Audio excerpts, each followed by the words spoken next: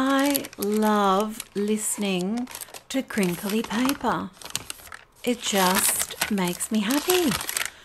This is the new window pane journal and it's full of crinkly paper. Well, actually, it's not crinkly when it arrives. When you get it, it'll be perfectly smooth.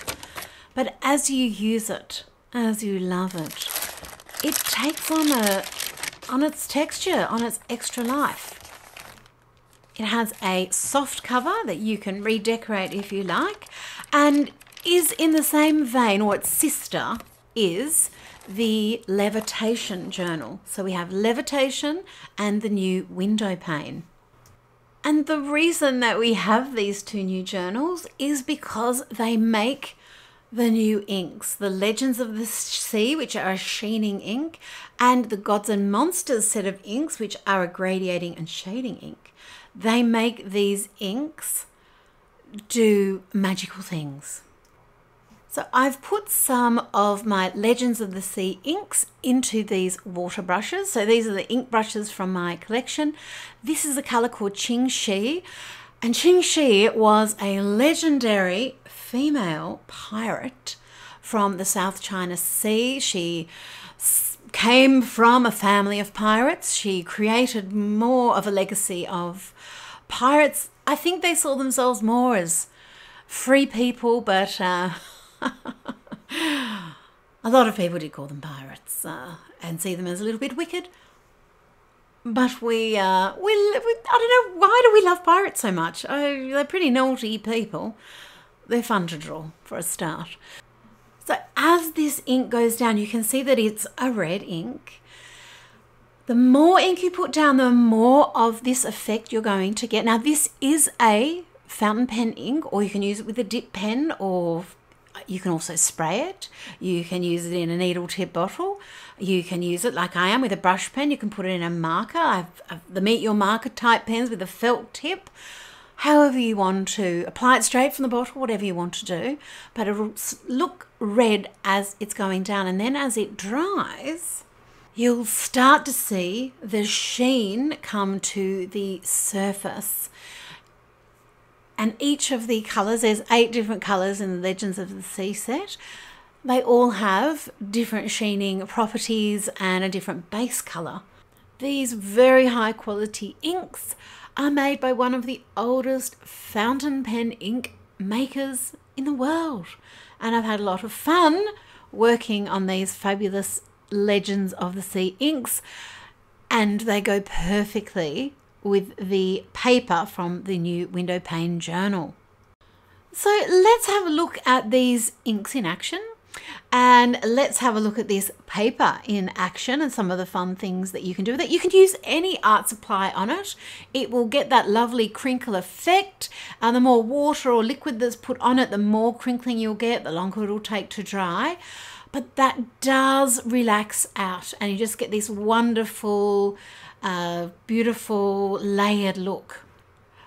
But the paper is drafting film or vellum or sulfuric acid paper. These are all names for the same sort of thing. And you can trace through it. This is what you're probably used to seeing it as. And let's just use it as this tracing an image is a wonderful way to learn something new. So I'm actually using alcohol markers here, something I haven't used in ages, to be honest. I have a lot to choose from, and they're not on my desk. So I forget that they're there, but they're sitting there. I've had some of my alcohol markers since I was, oh, a whippersnapper. I've had them forever and ever because I used them when I was doing fashion illustration on drafting film or vellum or window pane paper as we have now. So I'm just layering up the light colours and as you can see the inks from alcohol markers are very translucent. I'm also using uh, some of my own alcohol markers which are the smooth markers. You can't get them anymore but lots and lots of you have them and they've got all the beautiful soft portrait colors that you can use. So I'm just looking at the image that's underneath, looking for contrast, shadows. Um, because I'm using different brands of alcohol marker, I am getting some streaking as I'm going, which I really like, but you might not like that. So just be aware um, because the, every every manufacturer, every maker has a slightly different way, a slightly different formula of how they do things, and sometimes they're not compatible, I guess. Well, you know, like to make a smooth gradient. Another lovely thing to use on the window pane paper, mm, coloured pencil. So I'm going to start introducing my magic wands in the skincare collection set, which is 24 beautiful neutral colours that you can use as portraits colors and you can see how the pencil stands out and on the uh, right hand sorry left hand side of the page where I've used the same process. I've got the alcohol markers underneath and then using the colored pencil uh, just to bring out specific details. I just it looks nice together and it's lovely using these things on the window pane paper because it makes the alcohol markers behave a little differently and also the pencils are just smoother but they work nicely together layering them one over the other as well so i'm just flipping that the, pa- the paper back and forth so that I can see the image underneath because as I add art supplies on top, it is masking what is going on under and I just need to check and always looking at my reference to see what can I learn about the human face from that. I'm using creams and whites to bring up highlighted details and then I can also soften the pencil, melt it basically with alcohol markers. So alcohol markers melt colored pencil.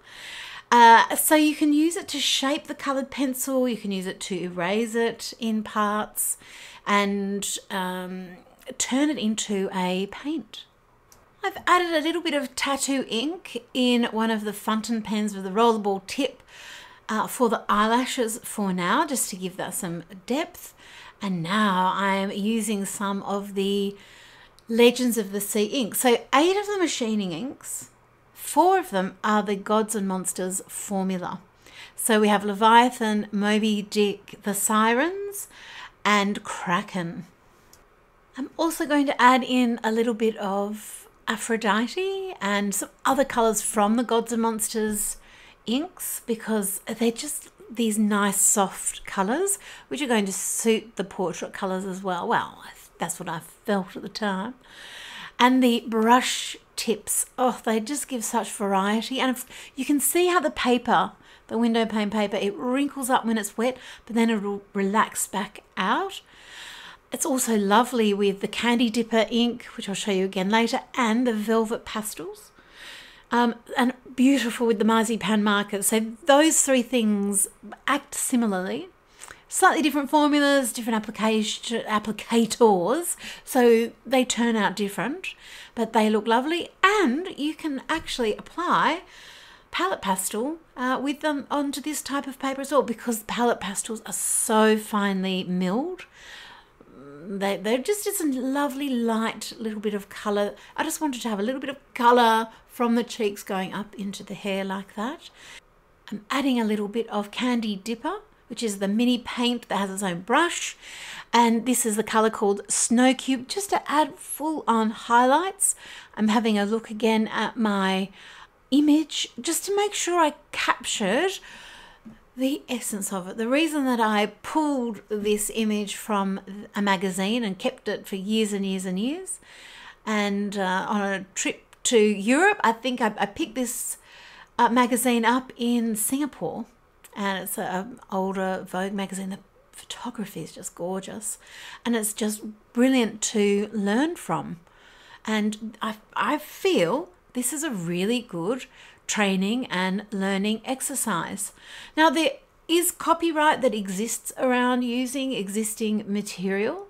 Uh, I'm not sell, going to be selling this piece that I'm showing you. This is for learning, and it's fine if you do that as well, if you're using it for your own learning and you're changing it. So I took the page out uh, at a certain point and I might refer to it from time to time, but I, it's then time to make this my own. And this becomes a human face, not that particular model's face. So take it into my own imagination. So I consider this a work in progress. But I really wanted to share this technique with you, and of course, this fabulous new journal, all of the new inks.